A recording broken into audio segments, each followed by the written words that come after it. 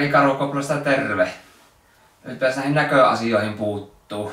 Ei niin, niin tarkoitus ulkonaista puhua, vaan tuota, optisista vehkistä, mitä me tuolla karujaissa käytellä. Eli karujahtihan poikkeaa sille monesta metsästysmuodosta, että jahti tapahtuu yleensä joko aamu- tai iltahamärässä. Ja se asettaa omia vaatimuksia vähän tuolle optiselle kalustelulle. Ja tuota, meidän käyttö on tämä valikoitunut tämä Leikan Magnus yhdestä viiva 6,3 tämmönen ajojahtikiikari. Eli tämä on tota, sinällään hyvä, että tässä suurin osa auto, aito ykkönen, ja silloin tota, niin, tavallaan kikari pystyy käyttämään kun punapistetähtäintä, niin kun ampuu molemmat silmät auki. Tässä on tota, punapisten säätö toimii myös päivällä, eli tavallaan molemmat silmät auki ampuu, niin näkyy kun punapiste tähtäimellä. Lisäksi optiikan laatu on hyvä, niin antaa pikkusen valovoimaa sinne aamu- ja iltahämärään, niin pystyy erottamaan sen maalin ja sen ympärillä olevat koirat. Toiseksi niin sitten, minkä takia myö käytetään niin kuin kiikari eikä punapistetähtäntä esimerkiksi on se, että monesti kun karhu sitten haukkuu jääpi, niin se ei ole mitenkään kauhean niin kuin avoimessa maassa, eli puskahan se hakkeutuu. Niin suurennusta kun laittaa tuota, vähän suuremmalle, pystyy vähän näkemään sitä miten paljon se karhu siellä haukussa on, onko ampumalinjalla risuja ja suorittamaan hyvän riistelaukauksen sitä myöten. Samoin tämä suurennus auttaa sitten myös tuota, tunnistamaan sen eläimen, että millainen eläin siellä haukussa on.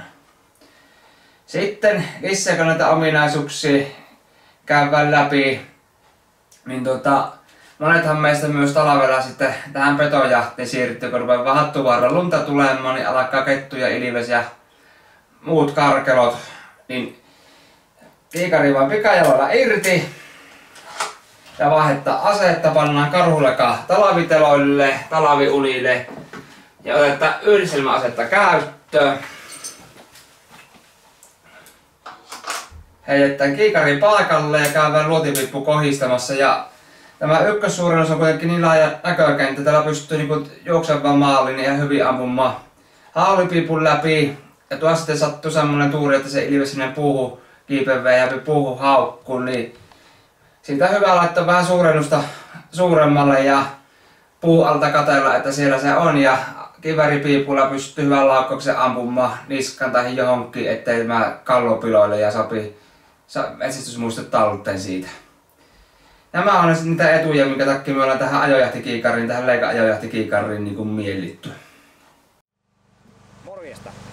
tänään on tuota esittelyvuorossa sitten nämä uudet maalitaulut, eli ollaan täällä Ilomansissa Puhuksen erän ampumaradalla ja tuota, täällä tänään ammuttaan sitten näihin eräkellarin maahan tuomiin Target SE maalitauluihin, eli nämä mitä taustalla näkyy löytyy tämmönen hyökkäävä karhu ja sitten tuolla taustalla oleva tuommoinen sivuuttain juokseva karhu ja tuota, nämä taulut on siitä hyviä, ne kestää noin 1500 laukkausta että tarvii uusia vasta ja sitten niin on erittäin niin aidon, aidon näköinen. Tuo vasta noin 80-100 kiloista karhu, missä näkyy niin tuota, sitten todellinen osuma-ala täällä otsassa, mikä sen karhun pyssäyttäessä kohti sattuu tulemaan.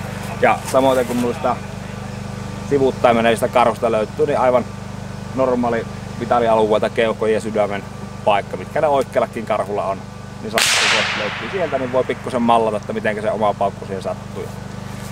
Ajatuksena on sillä, että tänä päivänä ammutetaan ensin yksi tai kaksi laukkausta tuonne sivuuttain tulevaa ja sen jälkeen kävi se pahin, pahin mahdollinen tilanne, eli karhu lähtee tulemaan kohti ja pyssäytetään se sitten tässä kohti tulevalla radalla. Mutta niin tota, siitä voi lähteä ammuskelemaan ja katsotaan mitä iltapäivä tuo tullessa ja ruppeeko ne karhut kaatumaan vai ei. No niin, valmiiksi pois se. Ja nyt valmiiksi otapa pyssyä siihen. No niin, no niin.